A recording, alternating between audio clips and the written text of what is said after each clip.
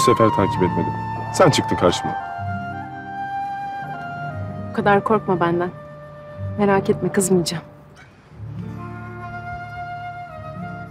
Baban nasıl? İyileşiyor.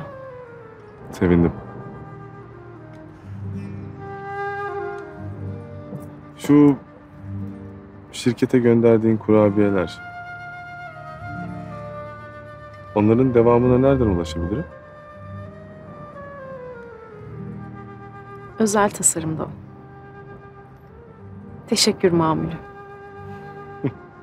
Anladım. Ondan o kadar güzellerdi demek.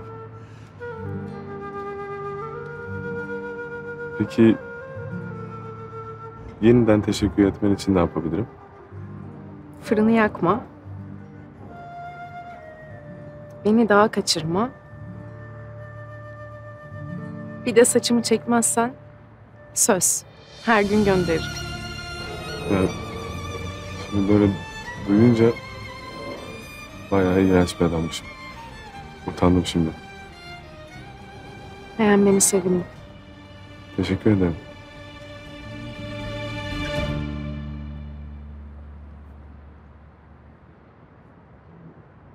Ne oldu sana? Sonunda bir yaralanmamın hakkını verdi. Sağ ol. İyi misin peki? İşte ne kadar olabilirse. Nasıl oldu? Düştü. Aynen. Öyle görünmez kaza. Geçmiş olsun. Sağ ol. Hayırdır Meryem? Ben sana müsaitsen eğer bir şey sormak için gelmiştim. Tabii gel. Görüşürüz diyeceğim ama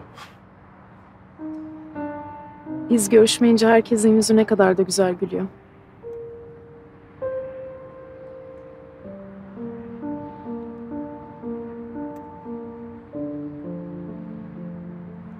Görüşmeyince kimsenin kafası kırılmıyor.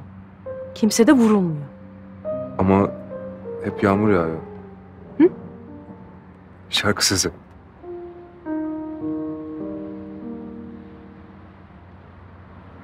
Niye söylemedin abime öyle? Ne kadar az bilirse beladan o kadar uzak durur. Of dur yavaş yavaş. Oktay anladı demek Meryem'i bizim gönderdiğimizi. Ondan açmıyor telefonu. Eyvah ki eyvah.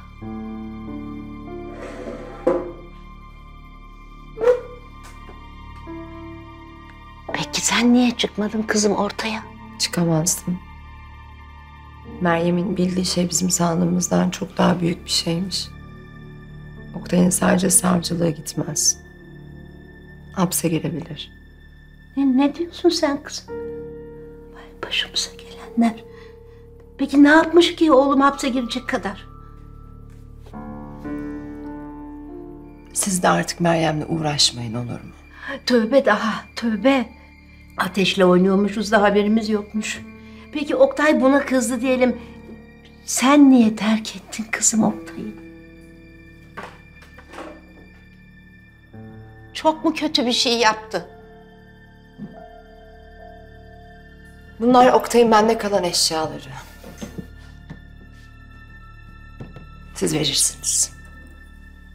Ne yapmış oğlum bu kadar kötü? Siz bilmeseniz çok daha iyi.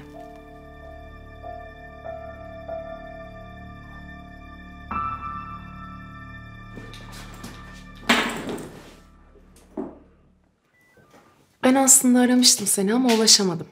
Bir teşhis vardı. Açamadım o yüzden ben de. Yanlış anlamazsan sana bir şey soracağım ben. Hani benim kolyem vardı ya. Ben hastaneden çıkarken sen rehine bırakmıştın. Evet. Ben bugün onu almaya gittim. Ama kuyumcu yok diyor. Sen bir şey biliyor musun? Yani hani seni aradılarsa falan.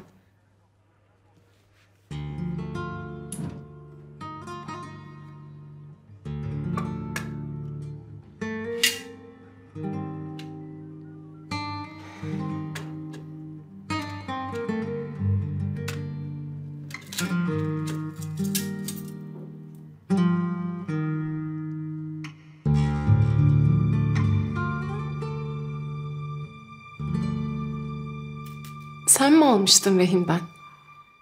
Vermedim reyine. Ama para?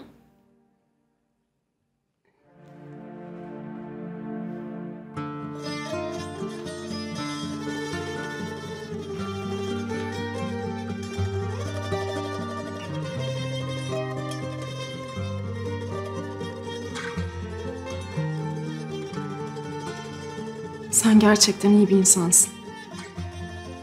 Sattılar da söylemiyorlar diye o kadar çok üzülmüştüm ki.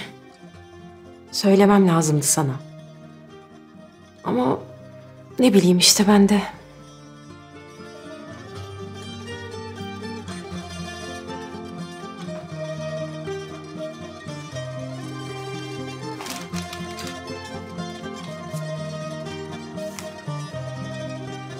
Saçmalama. Yok olmaz.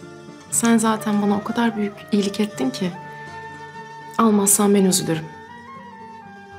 Ama hakkında denmez tabii orası ayrı. Yok canım.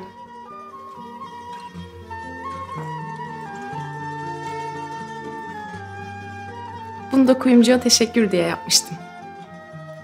Ama senin hakkın.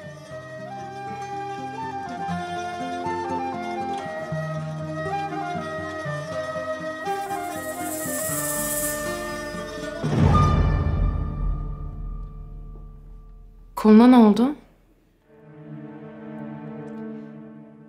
Kaza. Kazayla bir yere çarptım. Kaza. Güçlü de yanında mıydı o kazada? İkiniz de yaralısınız da.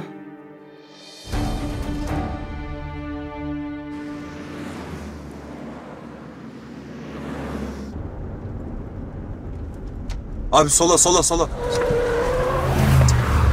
Tatlı su çakalına bak bizi sollayacak. İzin verme abi hız kesme ya. Oh. Güçlü. Ben bilmiyor muyum oğlum araba kullanmayı? İyice sürücü kursuna çevirdin ha. Yeter. Ne bileyim abi garip oldum böyle ya ıskartaya çıkmış gibi. Nereye gidiyoruz şimdi abi? Gül annem dört kere aradı bugün. Çok gezdirme gelsin dinlensin dedi. Abi annemi bilmiyor musun? Evam yapıyor ya. Nereye gidiyoruz biz? Sen anlamadın galiba benim söylediğim şeyi. Vuruldun oğlum sen vuruldun. Şaka mı sanıyorsun bunu? Gideceksin eve yatacaksın dinleneceksin bitti. Sen nereye gideceksin? Babana mı? Babama gitsem elime ne geçecek ki? Ben yaptım diyecek sanki. Ee o zaman Önce ben bir göreyim de o mu yapmış kim yapmış. nasıl olacak o? Ayarladım bir şeyler. Bensiz. Neymiş o? Hayatta söylemem. Şimdi canın manın çeker, kuyruğuma takılırsın, başına bela alırsın, uğraşamam seninle.